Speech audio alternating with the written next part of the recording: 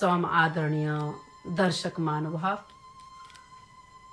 यो शुभ दीपावलीको सम्पूर्णमा धेरै धेरै शुभकामना व्यक्त गर्न चाहन्छु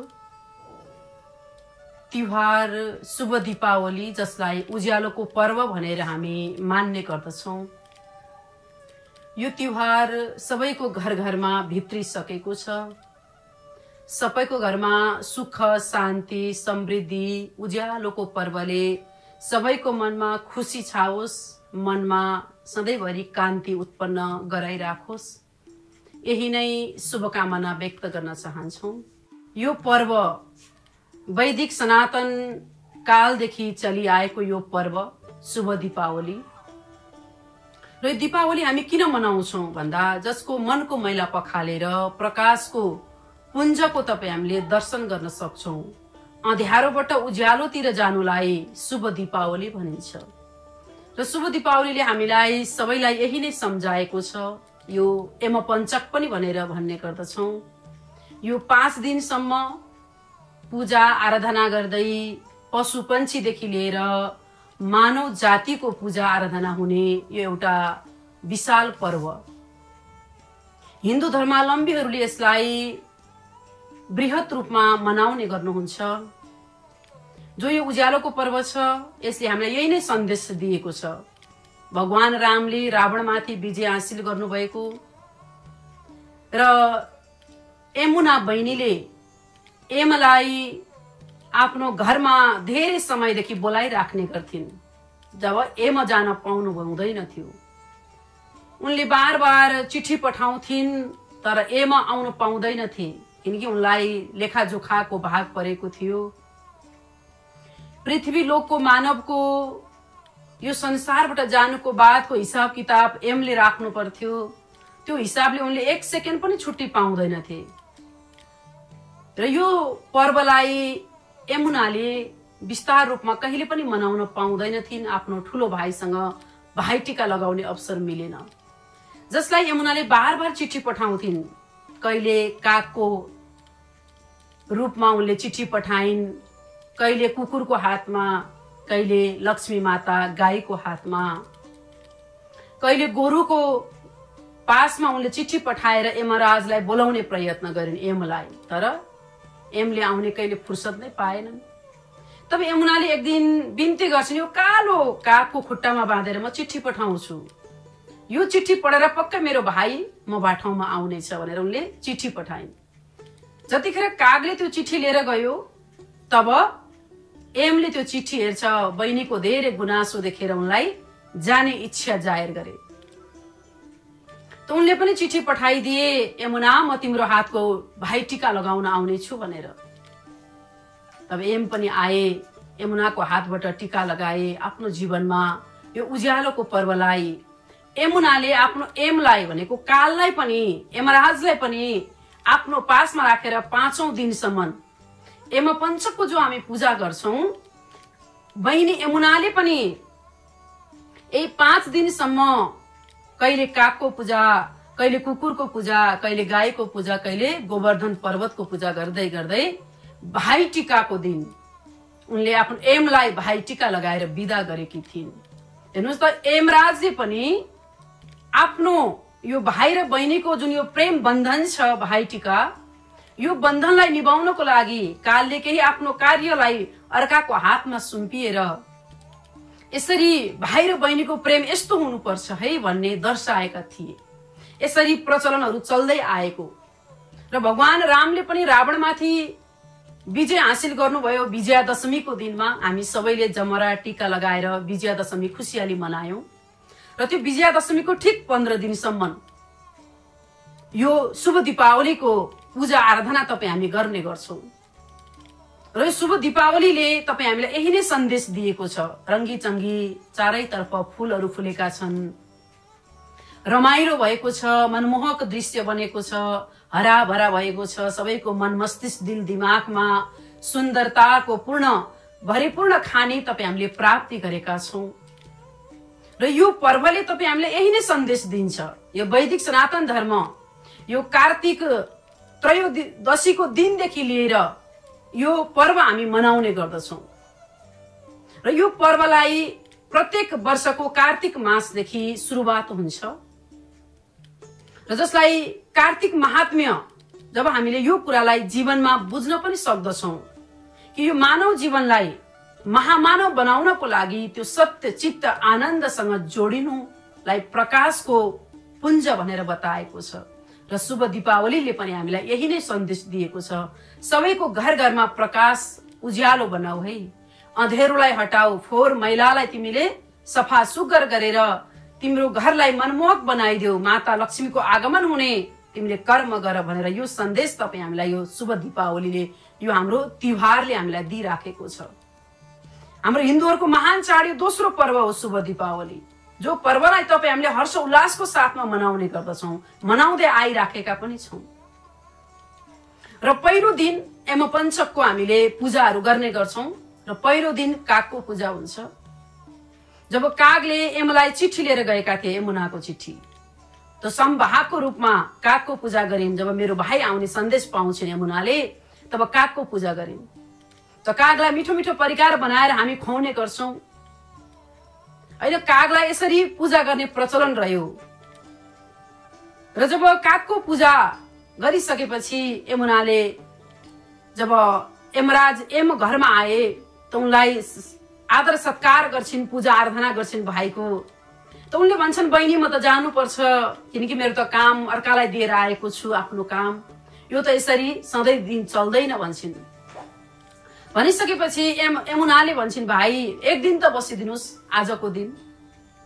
भन्दा उनले अब त खबर पठाउनु पर्छ मैले काम गर्ने राखेर आएको छु। भन्दा उनले कुकुरलाई चिठी लेखेर सबै कुरा विस्तार रूपमा जनाएर पठाइदिए। जसले हामीले रखुवाले भन्छौँ नि हाम्रो घरको रक्षा गर्ने कुकुर जसको हामीले पूजा आराधना गर्छौँ जसलाई टिका लगाएर फुलमाला लगाएर पूजा गरेर मिठो मिठो परिकारहरू खान दिन्छौँ।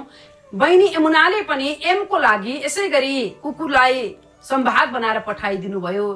जाऊ मेरो खबर पुर्याइदेऊ भनेर।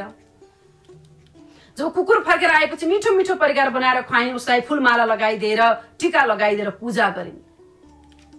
र पूजा पश्चात कुकुरको पूजा त्यो दिनबाट सुरु भएको। दोस्रो दिन। र तेस्रो दिन छ गाई पूजा यानि कि लक्ष्मी पूजा भनेर तपाईँ हामी भन्ने गर्छौँ बिहान हामी गाईको पूजा गर्छौँ।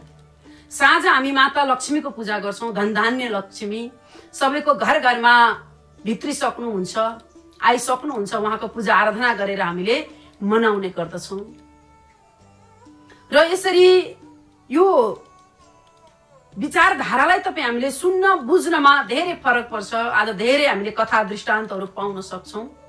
र तेस्रो दिन गाईको पूजा लक्ष्मी पूजा गरिसकेपछि चौथो दिन हामी गोवर्धन पूजा यानि कि भगवान कृष्णले गोवर्धन पर्वत उठाएर सारा भक्तहरूको रक्षा गरेर र उहाँले आफ्नो भक्तको रक्षाको निम्ति कति दुःख कष्ट गर्नुभयो र गोवर्धन पर्वतको पनि पूजा हुने गर्छ। र साथ साथमा गोरुको पनि पूजा हुन्छ। र यसरी तपाईँ हामीले सुन्नमा पाउँदछौ यो वैदिक सनातन धर्मको पद्म पुराणले तपाईँ हामीलाई बताइदिएको छ। यदि पद्म पुराणमा गएर हजुरहरूले खोज्नुभयो भने अवश्य पनि यो यमपञ्चको बारेमा यो शुभ दीपावलीको पाँच दिनको विषयमा हजुरहरूले प्रष्ट रूपमा त्यहाँ पाउन सक्नुहुन्छ। त्यसरी गोवर्धन पर्वत र गोरुको पूजा भयो र पाँचौं दिन भाइ टिका जसलाई हाम्रा धर्मशास्त्रहरूले पनि मान्यता दिँदै आएको छ। यो पर्वती खुसीको पर्व हो।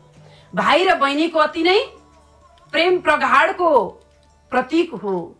हेर्नुहोस् एक भाइले बहिनीको रक्षा कसरी गर्नुपर्छ? जब यमुनाले भन्छन् मेरो भाइ म भाटामा आउनु सक्दैन भने मैले चाहिँ किन उसलाई पर्खिराख्ने? अब म जलमा समाधि लिन्छु भनेर प्रण गर्छिन् यमुनाले त्यतिखेर एमले आएर भन्छन् बहिनी तिम्रो लागि भनेर म उहाँदेखि आफ्नो काम धन्दा छोडेर आएको छु। तिमीले त्यस्तो गर्न पाउँदैनौ भने उनले रोकेकी हुन्छन्। जब एमले रोक्छन् तब यमुनाले भन्छन् हे भाइ हजुर आइदिनु भयो। हजुरलाई धेरै धेरै आभार व्यक्त गर्न चाहन्छु। यदि तपाईँ नआइदिनु भएको भए म सल्लाहको लागि जाँदै थिएँ। त्यसैले भाइ र भाइ र बहिनीको यो प्रेम बन्धन यो जुन भाइ टिका छ यो टिकाको महत्व तपाईँ हामीले बुझ्नको लागि पक्कै पनि एकचोटि त्यो पद्म पुराणलाई पढेर हेर्न सक्छौँ पढ्न सक्छौँ। जब एमले आफ्नो बहिनीलाई विस्तार रूपमा सम्झाउँछ बुझाउँछ ज्ञानका कुराहरू सम्झाउने प्रयत्न गर्छ तब यमुनाले यसरी आफ्नो भाइलाई बोलाएर पाँच दिनसम्म आफ्नो घरमा राखेर यो पाँचवटा एम पञ्चको पूजा गरेर भाइ दुजको दिनमा भाइ टिकाको दिनमा भाइ टिका लगाएर सप्तरङ्गी टिकाले भाइको निधार रङ्ग्याएर सयपत्री अनि मखमलीको फुलमालाले गला सजाएर यति खुसियाली मनाएको दिन यो भाइ टिका। यति महत्वपूर्ण दिन छ। यो दिनलाई तपाईँ हामीले कहिले पनि बिर्सनु हुँदैन। हेर्नुहोस् त एउटा कागको पूजा कुकुरको पूजा होइन पहाडको पूजा अनि मानवको पूजा। यी मानव पनि पूजाको योग्य छ है। यदि महान कर्म गर्छ भने त्यसैले महान कर्म गरौँ। कर्म प्रधान विश्व रची राखा जो जस करही तसै फल चाखा। हजुर हामीले जस्तो कर्म गर्छौँ त्यस्तै नै फल प्राप्ति गर्ने हो। त्यसैले हामीले राम्रो कर्म गरौँ। यमुनाले राम्रो कर्म गरेकी थिइन् र आफ्नो भाइ एमलाई आफ्नो घरमा ल्याउन समर्थन भइन्। भने हजुर हामीले पनि आफ्नो दाजुभाइ दिदी बहिनीहरूको यो अति नै प्रेम प्रगाडको जुन कि यो तिहार हो। र भाइ र बहिनीको बन्धन यस्तो हुनुपर्छ नङ्ग्र मासुको जस्तो। यदि भाइलाई दुख्यो भने बहिनीलाई पनि दुख्नुपर्छ दाईलाई दुख्यो भने बहिनीलाई पनि दुख्नुपर्छ। यस्तो प्रेम सम्बन्ध यदि भाइ र बहिनीमा हुन्छ भने साँच्चै भन्नु पर्दाखेरिमा त्यहाँ राम राज्य सुरु हुन्छ। जब हाम्रो जीवनमा त्यो चिजलाई प्राप्ति गर्न सक्छौँ र यो चिजलाई जब हामीले समयको महान पुरुष समयको तत्वव्रताको शरणमा गयौँ भने तपाईँ हामीहरूको जीवन महान अनि धन्य हुनु सक्दछ। त्यस कारणले गर्दा यो तिहारको महत्व अति महत्वपूर्ण छ। जसलाई तपाईँ हामीले प्रत्येक वर्ष कार्तिक त्रयोदशीको दिनदेखि हामी मान्ने गर्छौँ। र यो तिहारलाई हर कसैले मान्नु सक्छ। आफ्नो आफ्नो तरिकाले सबैले मान्दछौँ हामी। हिन्दू धर्मावलम्बीले मात्र होइन मानव प्राणीले यो कार्यलाई गर्दछन् तर कोही दृश्य रूपमा गर्छन् भने कोही अदृश्य रूपमा त्यसैले हामीले यो दृश्यवान रूपमा हामीले यो कार्यहरू गर्दछौँ र यो कार्तिकको महिनामा देउसी भैलो होइन हामीले सबैको घर घरमा गएर राजा बलिको कथा आउँछ यसमा राजा बलिले धेरै धर्मात्मा राजा थिए दान पुण्य गर्दथे उहाँले एक दिन दानको यस्तो उनको चर्चा परिचर्चा चल्यो राजा बलिको र यो चर्चा परिचर्चा इन्द्र राजाको सिंहासनसम्म पुग्यो। त इन्द्रले गएर भगवान विष्णुलाई भन्छन् प्रभु राजा बलि यति धर्मात्मा भयो यति दान गर्छ। उसको यसले त मेरो इन्द्र आसन नै डगमगायो। उसलाई केही गरी हुन्छ दान कम गर्ने प्रयत्न गराउन भन्छन्। त भगवान विष्णु बलि राजाको पासमा जानुहुन्छ अनि बलिलाई गएर दान माग्नुहुन्छ। ब्राह्मण रूपमा सानो पुड्के भनेर जानुहुन्छ। मलाई पनि केही दान देऊ बलि भनेर बलि माग्दा के दिउँ प्रभु हजुरलाई? हजुर त? सर्वस्व। सबै चिजको मालिक हुनुहुन्छ। हजुरलाई के मैले दिन सक्छु र? मलाई तिन पाउ जमिन भए पुग्छ भनेर भगवान बामन रूप अवतार भगवानले भन्नुहुन्छ। तब बलि राजाले भन्नुहुन्छ म सबै दानै गर्नको लागि नै बसेको हुँ। हजुरले जे चाहनुहुन्छ म त्यो दिन तयार छु त बामन रूप भगवानले के भन्नुहुन्छ भन्दाखेरि मलाई तिन पाउ जमिन देऊ। तिन पाउ जमिन एक त बामन रूपमा सानो होइन? ब्राह्मण भनेर आएका थिए भगवान विष्णु। सानो मान्छे देखेर ठिकै छ भनेर राजा बलिले हुन्छ म दिन तयार भने। जब यो पृथ्वीको भागलाई हजुरले एक पाउ राख्नुहोस् प्रभु भनेर पाउ दिनुभयो जग्गा दिनुभयो राजा बलिले त भगवान विष्णुले आफ्नो विशाल स्वरूपलाई प्रकट गरेर एक पाउले पृथ्वी लोक पुरै ढाकिदिनु भयो अनि दोस्रो पाउ कहाँ राखौँ बलि भनेर सोद्धाखेरिमा दोस्रो पाउ आकाशमा राख्नुहोस्। र दोस्रो पाउ आकाशमा राख्ने बित्तिकै आकाश पनि पूर्ण रूपमा ढाकियो। अब तेस्रो पाउ कहाँ राखौँ? भन्दाखेरिमा राजा बलि अकमक्क भए। अब कहाँ राखौँ भनौँ प्रभु? हजुरले जम्मा तिन पाउ जग्गा मागेको। दुई पाउले त सारा संसार पृथ्वी आकाश सबै नै समाप्त भयो। अब के दिउँ? अब मेरो पासमा त केही पनि छैन। भनेर जब राजा बलि नतमस्तक हुन्छन् बामन अवतारको अगाडि तब उनले आफ्नो शिर दिए। प्रभु हजुरलाई दिएको वचन मैले टार्न सक्दिन। त्यसैले भनेको छ रघुकुल रीति सदा चलि आए प्राण जाए भर वचन नजाए। र वचनको लागि त म बद्ध भएको छु मैले दिन कर लाग्छ प्रभु। त्यसो भने म मेरो शिर दिन्छु भनेर राजा बलिले आफ्नो शिर नारायणलाई अर्पण गरिदिए। जस्तै नारायणले बलिको शिरमाथि आफ्नो पाउ राख्नुभयो चरण राख्नुभयो तर उनी पाताल लोकमा धसिएर गए राजा बलि त पाताल लोक पनि सबै भगवान विष्णुको भयो। त त्यही समयदेखि जब राजा बलिले आफ्नो शिर दान गरेको शिरमा आफ्नो पाउ राख्नको लागि स्थान दिएको कारणले गर्दा यो देउसी भैलो बलि राजाले पठाएको यो नियम हाम्रो भन्दै हामी देउसी भैलो गाउँदै हामी यसरी संस्कृति संस्कार जनाउँदै हिँड्छौँ नि यो राजा बलिको त्याग हो। उहाँले देखाउनु भएको मार्ग र हामी कात्तिकको कालो दान भन्दै घर घरमा गएर देउसी भैलो जगाउँछौँ। होइन लक्ष्मी पूजा गर्छौँ। र यसरी तपाईँ हामीले प्रथा जो चलाइराखेका छौँ यो हाम्रो पुर्खाहरूले जीवनमा प्र्याक्टिकल अनुभूति गर्नुभएको उहाँले त्याग गर्नुभएको उहाँले आफ्नो जीवनमा त्यो सत्यको अनुसरण गर्नुभएको यो त्यागको महिमा हो। भगवान रामले रावणमाथि विजय हासिल गर्नुभयो। वामन देवले राजा बलिमाथि र यमुनाले एममाथि यसरी कर्म गर्दै सामर्थ्यता अगाडि बढाउँदै अगाडि बढ्नुको तिहार जसलाई तपाईँ हामीले यम पञ्चक यानि कि शुभ दीपावली तिहार भनेर तपाईँ हामी मनाउने गर्दछौँ। यसको विशेषताहरू धेरै छन्। यसको कथाहरू धेरै छन्। अनेकौं कथाहरू हजुरले सुन्न देख्न लेख्न पाउनुहुन्छ। तर यसको महत्व तपाईँ हामीले बुझ्नु छ ज्वरोलाई बुझ्नु छ। त्यो हो आत्मा साक्षात्कार आत्माको ज्ञान। यमुनालाई त्यो ज्योति स्वरूप परमात्माको दर्शन भयो। राजा बलिले दान गर्दा गर्दा उनले थोरै भए पनि अभिमान आएको थियो। जो आए पनि म दान गर्छु भन्नेमा थिए। त दानले मात्र होइन ज्ञानले महान बन्नुपर्छ भन्ने सन्देश भगवान विष्णुले राजा बलिलाई सिकाउनु भयो बहिनी यमुनाले एमलाई सिकाइन्। तिम्रो आफ्नो कर्म मात्र होइन भाइ र बहिनीको प्रेमलाई पनि सधैँभरि अटुट राख्नुपर्छ। यो भाइ बहिनीको जुन सप्तरङ्गी टिका छ मखमली माला छ यो फुल जस्तै हामी सधैँभरि नवैलाउने खुसियाली अति रमाइलो बन्ने मनमोहक बन्ने एउटा यो तिहार हो भनेर यो सन्देश तपाईँ हामीलाई यो शुभ दीपावलीले हामीलाई दिइराखेको छ। र यो कर्मबाट हामी कोही पनि वञ्चित नहौँ। हामी सबैले मान्नुपर्छ हाम्रो धर्म संस्कृति संस्कार।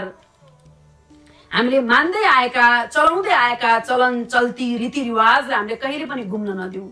देउसी भैलो खेल्नुपर्छ। किनकि हाम्रो यो संस्कार हो। हामीले आज देउसी भैलो खेल्न छोडिसकेका छौँ। आ यो राति किन जानु पर्यो र होइन? रातिभरि किन दौडिनु पर्यो? अँध्यारोमा भन्छौँ। किन यो अँध्यारो पर्वलाई हटाएर उज्यालो पर्व उज्यालो प्रकाश छर्ने यो तिहार हो। हर कसैको घरमा दीपावली दीप जलेको हुन्छ।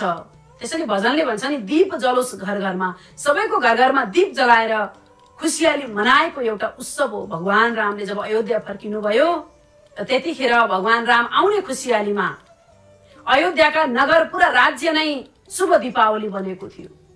अनि भगवान रामको विजय हासिल भएर फर्केर अयोध्या आउँदै गर्दाखेरिमा यो घर घरमा दीप जलाएर पूजा आराधना गरेर यसरी खुसियाली पर्व मनाएको प्रकाशको पर्व मनाएको यो शुभ दीपावली। हेर्नुहोस् त महान पुरुषहरूले जीवनमा यो पर्वलाई मनाउनु भयो। उहाँहरूको जीवनमा जुन अँध्यारोलाई हटाएर रावण जस्तो दुष्टलाई संहार गरेर त्यो सत्यको बिजारोपण गर्नको लागि भगवान रामले कति सङ्घर्ष गर्नुभयो। त्यही सङ्घर्षको फल आज तपाईँ हामीले देउसी पहिलोको रूपमा मनाउन पाइराखेका छौँ। यसलाई विकृति होइन विसङ्गति होइन। हामीले देउसी भैलो खेलेर कुनै कात्तिको दान पायौँ भने नराम्रो बाटोमा नलगाउनु होला नराम्रो खानपिनमा नलगाउनु होला। हामीले यो कात्तिकको कालो दान भनेर कसैले दान गर्छन् भने राम्रो काममा लगाउनु होला शिक्षा अभियान जस्तो काममा लगाउनुहोस् रक्तदान जस्तो काममा लगाउनुहोस्। यदि कोही अनाथहरू छन् भने त्यस्तो अनाथहरूलाई हजुरले यो सेवा लगाउनु होला। यदि अन्यथा यो सेवा दुरुपयोग भयो भने राजा बलिको जस्तै हाम्रो पनि अवस्था हुन सक्छ। त्यसैले गर्दा अभिमानले चौरासीमा ज्ञानले मोक्ष धाम भनेर बताएको छ र सबैले ज्ञानको प्रकाशलाई जीवनमा प्राप्ति गरौँ उज्यालोको पर्वलाई हामीले हर्ष उल्लासको साथमा मनाउने प्रयत्न गरौँ भन्दै मेरा अगाडि बढेका वाणीहरूलाई यही नै विराम दिन चाहन्छु। सम्पूर्णलाई फेरि पनि शुभ दीपावलीको धेरै धेरै शुभकामना धन्यवाद।